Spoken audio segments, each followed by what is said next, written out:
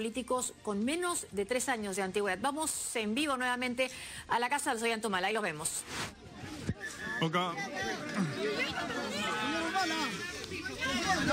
Bien, ha salido Ollantumala a la puerta de su domicilio en Surco. Vamos a ver si nos podemos acercar.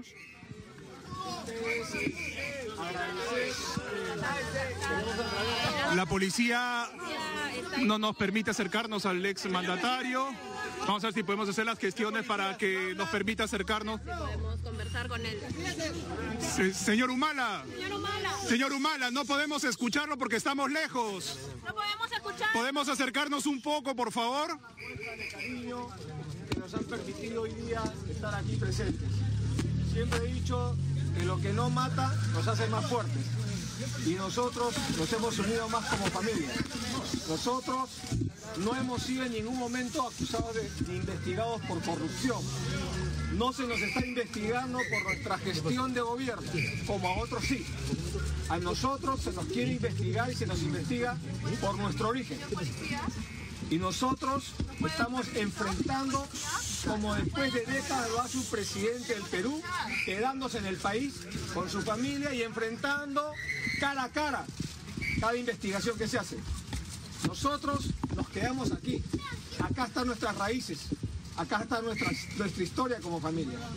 Y vamos a demostrar toda esta injusticia que se ha venido haciendo contra nuestra familia. Una cosa es el juicio mediático que ya está en la etapa del linchamiento. Pero otra cosa es el Estado de Derecho que todos debemos respetar.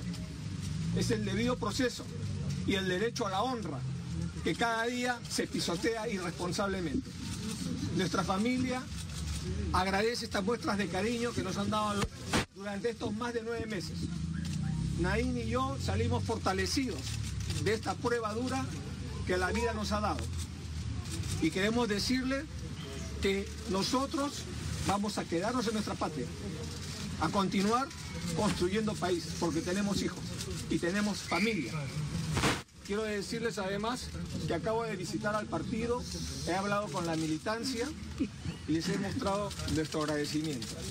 Nosotros hemos aprendido bastante en estos nueve meses y hemos entendido muchos aspectos más en la vida que creo que los gobernantes deben aprender para ser más sensibles al dolor de las personas de nuestro pueblo.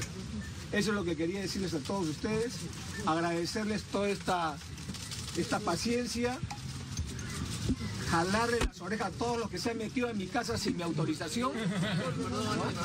Pero entiendo que también es por el calor de la chamba, pero eso nos demuestra que también la prensa debe actuar con responsabilidad. Deben respetar. Porque respeto guardan respeto.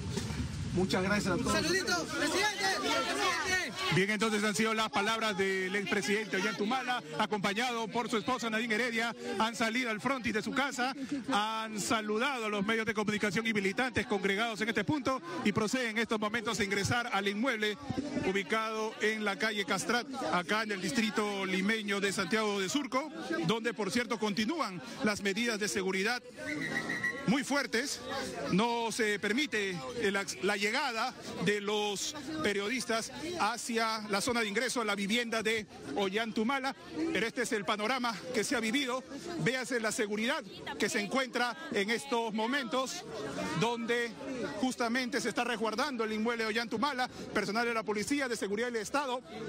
El presidente ha remarcado que va a mantenerse en el país y que va a afrontar esta investigación que se le sigue por presunto lavado de activos y también, por cierto, ha efectuado una crítica a los incidentes suscitados en hora de la tarde respecto al ingreso de periodistas a su inmueble en momentos en que se producía la llegada de su esposa Nadine Heredia a su domicilio acá en Santiago de Surco. Respetos guardan respetos y en todo caso ha comprendido en cierta forma el trabajo eh, desarrollado por los periodistas respecto a esta cobertura relacionada a su liberación y la liberación de su esposa por disposición del Tribunal Constitucional. Desde Santiago de Surco, Josefina, regreso contigo en Estudios Centrales.